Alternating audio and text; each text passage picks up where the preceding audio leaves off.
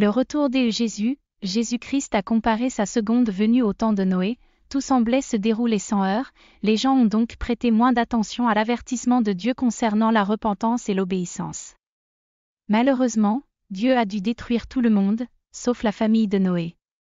Le déluge s'est abattu sur la terre, et tous les gens sont morts, dit Jésus, tout comme au temps de Noé, il en sera de même au temps du Fils de l'homme. Les gens mangeaient, buvaient, se mariaient et étaient donnés en mariage jusqu'au jour où Noé est entré dans l'arche. Puis le déluge est venu et les a tout détruits. Il en fut de même au jour de l'eau. Les gens mangeaient et buvaient, achetaient et vendaient, plantaient et construisaient.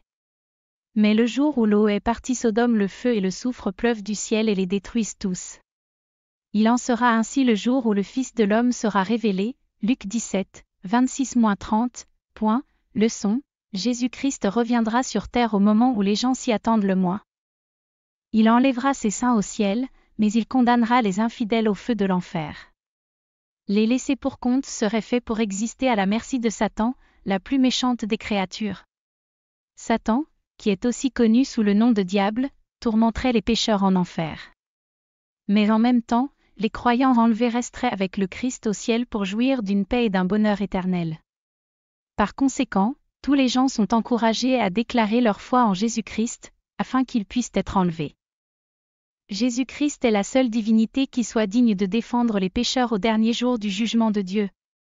Le Christ qui est mort pour les pécheurs défendra les personnes qui croient en lui, et il les exonérera du châtiment de l'enfer. Le Sauveur déclarera ses saints justifiés. Cependant, il disqualifiera les non-croyants d'entrer au ciel, prière de salut, cher Seigneur Jésus-Christ, je veux aller au ciel, je ne veux pas aller au feu de l'enfer. C'est pourquoi je te livre ma vie aujourd'hui. Je te confesse comme Seigneur, et je t'accepte comme mon Seigneur et Sauveur personnel.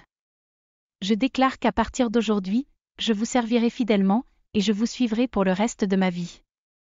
Puisque j'ai prié, je me déclare enfant de Dieu, mon nom est écrit dans le livre de vie, et le ciel est ma destination finale. Loué soit Dieu.